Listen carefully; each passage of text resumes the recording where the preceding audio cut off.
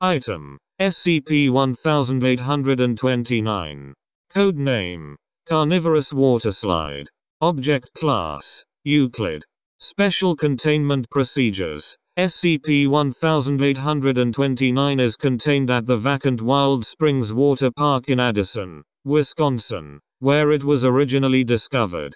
At least two, two Foundation guards are to be posted at the park's gates to prevent civilian access to SCP-1829. Once weekly, SCP-1829 is to be supplied with 25 kilograms of raw meat. See Addendum 1829-1. The pool at SCP-1829's base should be inspected following digestion, and any undigested remains should be removed by net and incinerated. As the Wild Springs Amusement Park has been marked condemned since 1979, no further containment procedures are necessary. Description SCP-1829 is an orange and yellow waterslide approximately 19 meters tall and constructed of an unknown material. A spiraling wooden staircase has been connected to SCP-1829's entrance, allowing easy access from ground level. SCP-1829's structure curves twice before ending at a small concrete pool at its base. A pump system attached to said concrete pool supplies water to SCP-1829 on a constant basis. SCP-1829 appears and functions like a normal water slide until a subject enters a section of tubing shortly after SCP-1829's second curve. At this point, microscopic pores on SCP-1829's surface will secrete a flesh-covered aperture of tissue, trapping the subject in place. SCP-1829 will then drain the selected area of water and begin flooding it with gastric acid 1, effectively digesting the subject.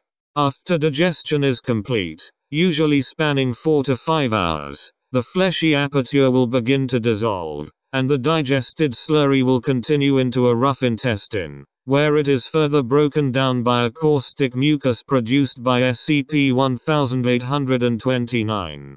Any surviving material is pushed through peristalsis from the intestine, where it will continue down SCP-1829's surface until it is ejected into the pool at SCP-1829's base. As this water is later pumped back into SCP-1829, it is heavily polluted with gastric acid, bile, mucus, and bone fragments.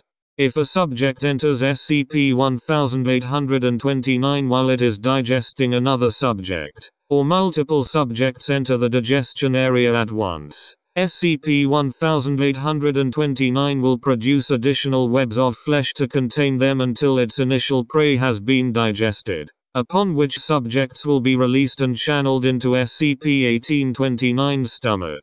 SCP-1829 was discovered four days after its installation at the Wild Springs Water Park, when a year-old child was digested and ejected in front of civilians.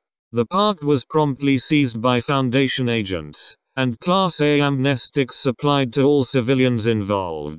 Oddly, SCP-1829 functioned as a normal waterslide for the first four days of its installation until the incident. Addendum 1829-1. Following a long period without feeding, SCP-1829 attempted to digest its own surface material, leaving several caustic burns in the process. To prevent leaking of SCP-1829's fluids, its containment procedures have been revised to include weekly feeding. Testing limits of SCP-1829's digestion.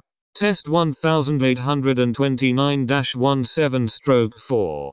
Subject 1. 1. Live chicken, weighing 1.8 kilograms.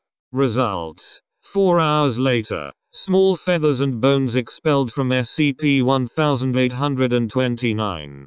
Test 1829-27 stroke 5. Subject 1. 1. Piece of firewood, weighing 2.7 kilograms. Results 5 and a half hours later, Small wood chips expelled from SCP 1829.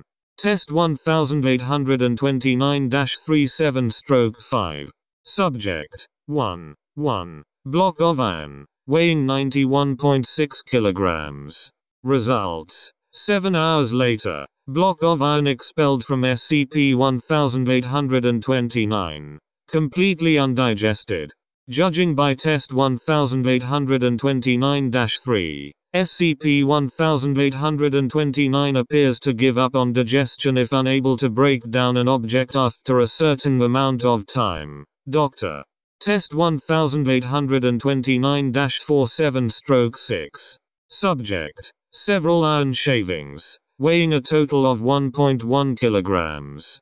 Results as in test 1829 3, undigested iron was expelled 7 hours later. Test 1829 47 stroke 6. Subject 4 liters of ipecac syrup. Results 7 minutes later, SCP 1829 violently ejected the syrup along with 17 liters of gastric acid, flooding the pool at its base. Cleanup and draining took hours. Let's not do that again. Doctor. Footnotes. 1. Analysis of gastric acid has shown a striking similarity with human stomach acid, with the exception of an abnormally high amount of pepsin.